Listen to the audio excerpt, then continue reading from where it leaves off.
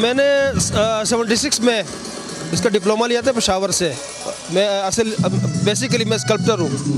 तो हमारे इलाके में चूँकि स्कल्प्टर को पसंद नहीं किया जाता, वो बुत परस्ती के उम्र में आया था, मैं, मेरा ताल्लुक वजीरस्तान से। तो मैं कैलीग्राफी की तरफ़ आया, लेकिन अभी मैंने पोर्ट्रेट्स वगैरह भी शुरू कर दिए, और मैं पाकिस्तान का वाहिद वुड आर्टिस्ट हूँ, कि जो मैं तीन तरह की कार्विंग करता हूँ मैं। डॉट कार्विंग, स्लाइड कार्विंग और डीप कार्विंग हो गया सेंडर।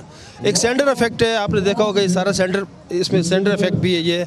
और जो वाटर वाटर कलर जो वाटर के पोर्ट्रेट्स हैं, वो इफ़ेक्ट मैं वुड कार्विंग में देता हूँ। ये सारा हाथ का काम है ये। तो एक आपने पायरोग्राफी के बारे में सुना होगा।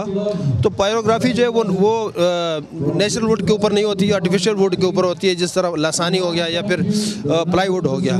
मैं पायोग्राफी का इफ़ेक्ट जो है वो हाथ से और नेचुरल वुड के ऊपर देता हूँ।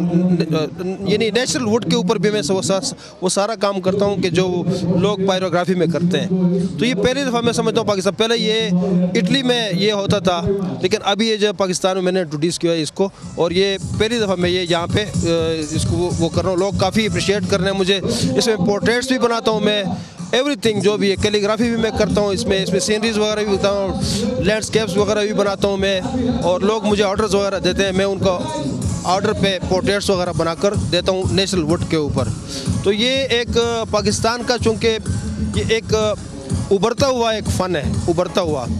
और, ये टोटली हाथ से होता है, ये थोड़ा, ये कि अब चूँकि न्यू जनरेशन है मशीन मशीन और इलेक्ट्रॉनिक मीडिया की तरफ़ जा रहे हैं वो।